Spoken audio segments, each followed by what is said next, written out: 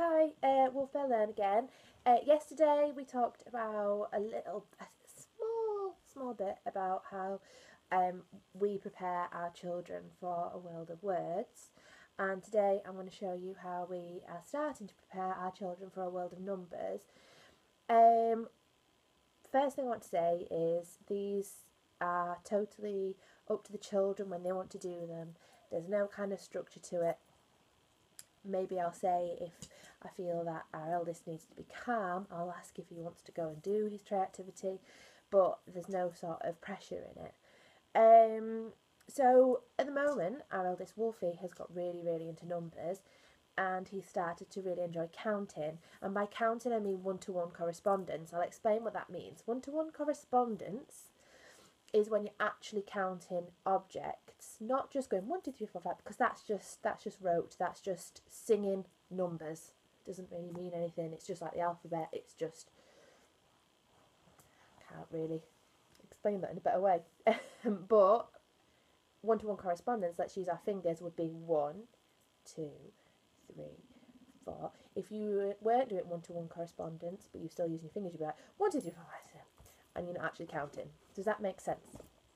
So anyway, tomorrow, um, we, we every day anyway, we're always counting and just casually. It's just part of your day, isn't it? We're measuring things, or we are timing things.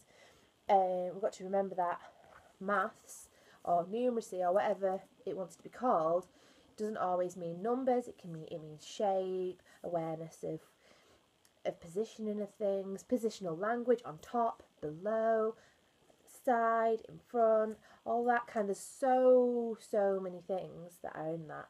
But I'm showing you a numbers activity in particular for tomorrow. Uh, so let's start. For our youngest, who is nine months, for Lowell Bear, we have got a. I think I'm gonna have to pick you up. Show you. Can you see? An oven dish with water in, and that's just some a bag of clothes I've been sorting out. That's um, YouTube realness. Um, and some rubber ducks. So we've got oh one. You can you get the idea. There's actually water in here as well, so this will be fun to splash in. Three, four, five. So we're going to sing the song Five Little Ducks Went Swimming One Day. I am not going to do it right now, but I'll do it with the boys. We'll do Five Little Ducks Went Swimming One Day. I also have a Five Little Ducks Went Swimming One Day puppet. Now I've got this because I'm a teacher, but they're quite easy to pick up if you wanted. Um, though I do think that a better way, a cheaper way, and an easier way, more fun, is to do it physically with something like this, with the water. And the five little ducks, you can pick these up really cheaply. So this is for both of them. Um, Wolfie started singing along to songs. He's he kind of wasn't so into singing along until quite recently. Um, you know, music used to just annoy him a bit, but now he really likes it. So he'll sing along, and Lowell Bear will probably really splash in the water and things. It's just the whole experience. And I'll put you back on my little makeshift stand. Amazing. Um, for Wolfie, there, a cat. Yay! It won't be a video without a cat. Hey, two cats.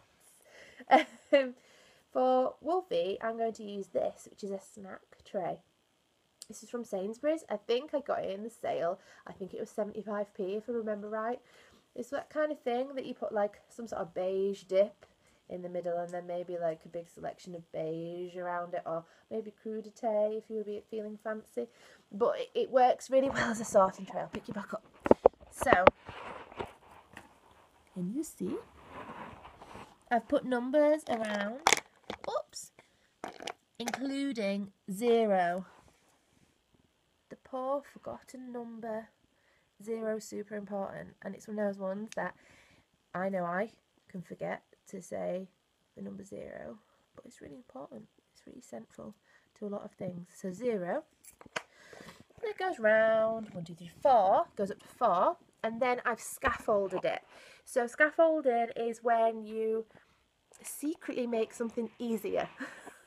That's a good way of saying it. Right, pop you that down.